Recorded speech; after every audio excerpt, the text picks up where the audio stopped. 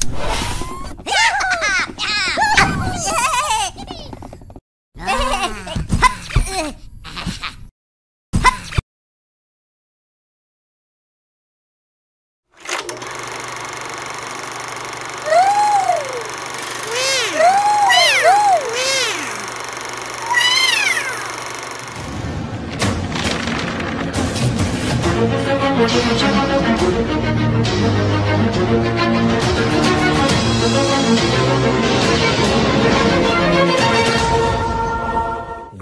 greetings, greetings, my V family all over the world. This is your chief. Welcome to week um, 34, which is a rank advancement week. That means this is the time to wake up, smell the coffee, shine, nana, whatever you drink. That Wednesday, Thursday, Friday, do whatever it takes for you to achieve your TA freaking T. All right guys rank advancement week is the week where you put everything together perfect everything make sure you understand exactly what you need for your rank advancement by looking at your dashboard all right and whatever rank you have targeted non-negotiable. If you have targeted to achieve a new rank if you have targeted a certain commission for week 34 the only thing that can stop you from achieving it whether it's fine two whether it's hit a $500 check, whether it's max out, whether it's to move rank from sapphire to platinum, whatever the target is. My mantra is very simple. If it is to be, it is up to me. I said it in my Insta live. There's nothing or nobody who can stop you from achieving your goal except your freaking self. So get your ego out of the way. Dump all that fear, doubt, uncertainty and just do what you're supposed to do. And you will achieve your TAT, whatever target you have set on week 34, rank advancement week this month. All right. Guys, I was talking to so many people over so many days. All right. For those of you who WhatsApp me, I'll catch up with all the WhatsApps, WhatsApps this weekend. Life has been unbelievably crazy with a new member joining my family all right, spending a lot of time fulfilling the needs of VCon, Dato Sri Vijay's vision that I promised him that I will fulfill no matter what, no sleep. It's freaking 4.30 in the morning right now. This is your chief being your upline, all right, dedicated, committed. And this week on the Wednesday message, I want to talk about something that I realize that a lot of people today don't talk about enough. That is how do you handle your prospects? Okay, from inviting to presentation to handling the objections, all right, or the follow through. Now, ultimately, guys, all right, your prospect does not know QNet, may never come to QI Tower, all right, okay, they only understand and feel what you tell them. That's about it. You are QNet. All right. You are the company.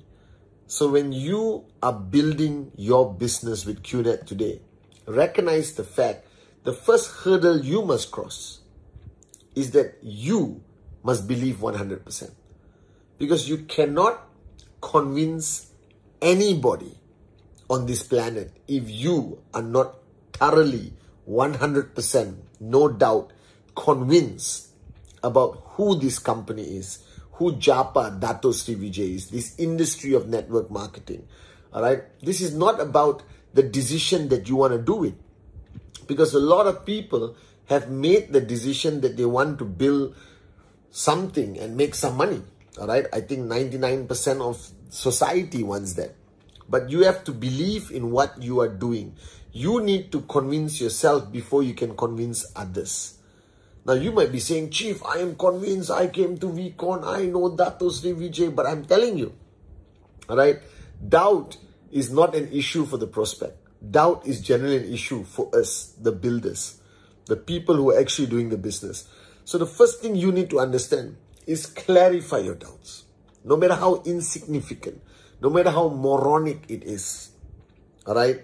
Basic building block number seven, counsel your upline ask questions. A lot of people think that only prospects have objections, only prospects have doubts. No. The majority of doubts I manage on a day to day basis are not with prospects, they are with our downlines around the world. They have moments, okay, and we are only human. They're also human. They read the same Google. They're under tremendous pressure sometimes from their family, relative, society. So don't take it for granted. Don't take the conviction level, the belief level of your leaders, your downlines for granted. Once in a while, right, once in 90 days or whatever, you need to sit down and just tell them, do you have any questions? Is there any concerns you have? I've seen Dato Sri Vijay do this every time, even in VCon. Right after he does part of his session, he will stop and say, Pathman, I want Q&A. Why? Because he wants to clarify. Because one person's doubt in network marketing is 1,000 people have the similar doubt. I guarantee you. And you can't blame them. All right. We are in an industry. We are in an age where bad news, fake news exists at a pandemic level and people can easily be influenced. So the first thing you have to consistently do, all right, is as much as your leaders tell you, we are with you, upline, we will die for you, this is the best company in the world, it's okay. They may still have doubt. They may still have frustration. They may still have issues. All right. So always put your pulse on that leadership, on your organization by allowing them to ask you questions, allowing them to express themselves. Sometimes we hammer so much and say, no, you got to be positive. This is your life. This is the best company. Shut up and do it. You're just pushing their doubt down. It's going to come up again. It's okay to occasionally have questions. It's okay to worry whether you made the right decision. It's okay to have fear of putting your whole future onto this industry called network marketing, onto this great company called QNet. And as much as you hear success stories, I'm sure you also hear people who did not make it. So it's okay to have that concern, doubt. But the longer you remain with it, the longer that uncertainty, that fear remains in you, it makes you into an ineffective networker.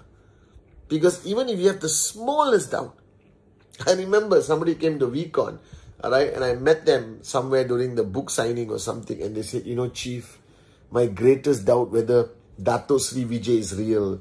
But I came to VCon, I touched him, I saw him, and now I know he's real. All my doubts are cleared. I'm going to go back and bill.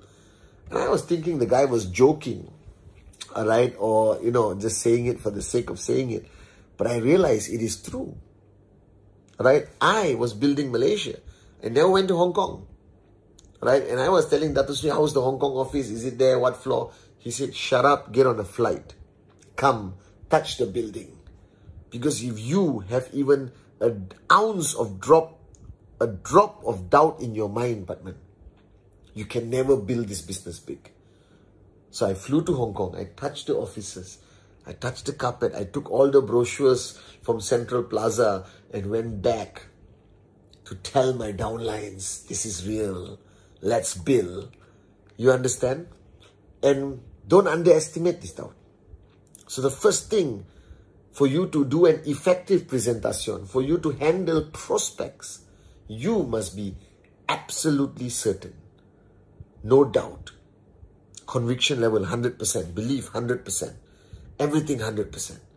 99% means there's 1% doubt right? Don't allow it to exist. Now you're dealing with prospects, guys. Who are these prospects? They are you.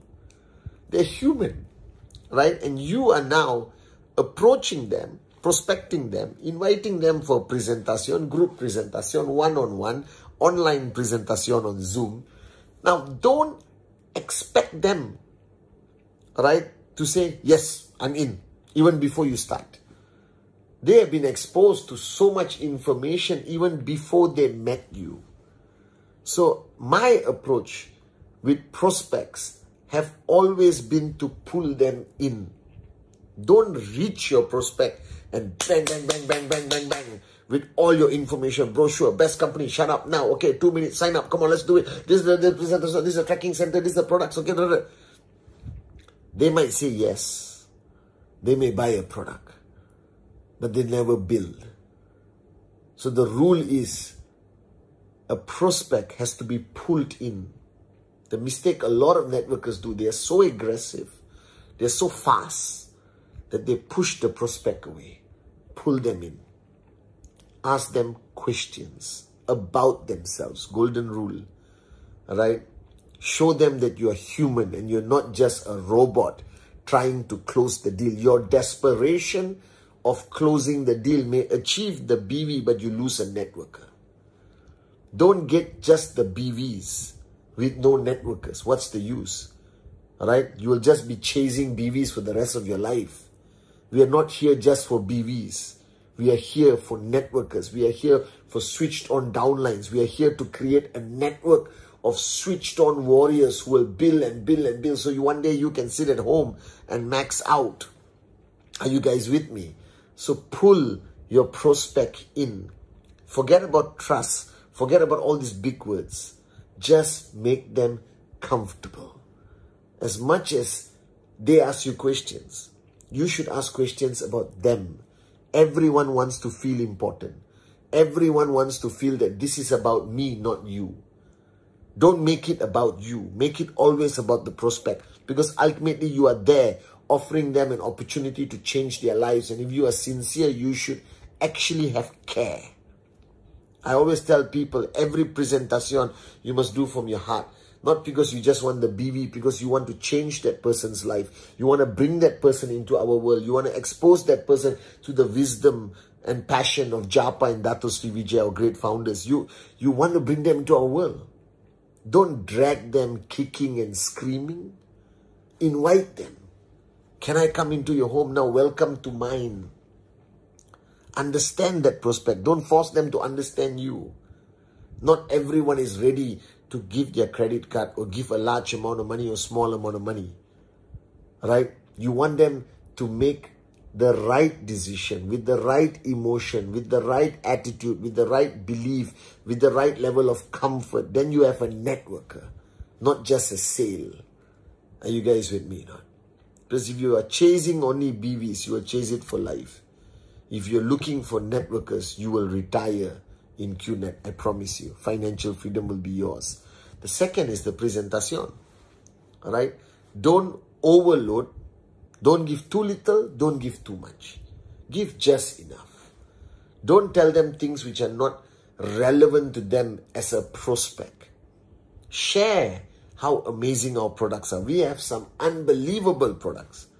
All right, tell them your experience with the product. Tell them the complaint. Tell them the potential earnings truthfully, what they could earn. Tell them that it requires commitment and hard work, but you are there to guide them. Tell them the credibility of this company. Tell them everything. All right. But not too much, not too little. Not too aggressive, not too soft. Find a balance. And you can tell by their body language, by their eyes, whether they are comfortable with that presentation. And the minute I realize my prospect is not comfortable, I stop. And I said, what's up, bro? You seem to be, you know, distracted. You have any questions? You have any concerns? And they'll tell me, you know, Pathman, honestly, I just read about your company online. Fantastic. I was waiting for you to ask me this question. So let's talk about that. Let's talk about what you read online. I will try my best to answer, but ultimately the decision is yours. But let me tell you my version of the truth. You may have heard the version of the reporters or journalists or whatever you read online, but it's okay. And I tell them about the industry. I tell them about every challenge we have faced very openly, but I tell them we are still here after 24 years. We are partners with Manchester City for 11 years. We have a tower in Malaysia. We have a university in Malaysia. All right, we have hotels all around the world. Now, please think for one minute. We are 24 years old. Do you think if we are doing something wrong, we'll be here for 24 years? If you think our intent is not pure, the founder's intent is not pure, we can be around for 24 years, 40 offices, millions of downlines around the world. So let's talk. What else is bothering you? Are you guys with me? So the minute they feel comfortable, answer their questions. The questions are there. You know every prospect has only 10 objections, not more. It's just different style, different language, different thing. And handle the objections, like I said, in the eight basic building blocks. Feel, felt, found. I know how you feel. That's exactly how I felt in 1998. But you know what I found out? You understand? And make them comfortable. Now handle objections with your belief. Handle objections with confidence, but from here. Handle objections with a calm approach. Right? Don't let them get into your head. Some prospects are smart enough to ask you questions, but they already want to say no. They don't know how to say no. When you sense that they want to say no, they don't know how to say no, I ask them for an honest answer. No pressure. Right? I know I've told you a lot. I just want to know how you feel. Are we leaning towards a few more questions? Then you're comfortable enough? Or right now you are very uncomfortable, right, about putting down your credit card or making that decision, right? Let's talk about something else. Because if I pressure somebody to sign up, I lose a networker. I get a BV. I'm not here just to get BVs. I'm here to duplicate, to build networkers, to build warriors like Dato Sri Vijayan Japa has done for 24 years. So remember your prospect. Now, if they said you are legal, illegal, we have videos left, right, center. We have so much to show, but don't show them too much. Show them just enough that they're comfortable. And then stop. Let them ask the next question. Now, I think today as a networker, I face more questions. People are much more aware. The internet, information, network marketing, crypto, everything is around town today. So I think we have to be patient in our presentation. We have to be patient with our prospects. Because whether they say yes or no, it trains you. It sharpens your sword. It makes you better as a networker. Not only handling the prospect, but handling everyone. But ultimately, remember, they will never understand your mind at this moment of time. They will never understand QNet, how beautiful, how amazing it is. They need time to get there. And your job is to make them comfortable enough to stay with you all the way until they get that click. Alright? And to make them comfortable, be truthful, be sincere. Show them your heart. Tell them your beautiful journey. Don't oversell, don't undersell anymore. Prospects are not morons anymore. You understand? They're smart. They have opinions. They know what's happening around the world. You just need to understand this.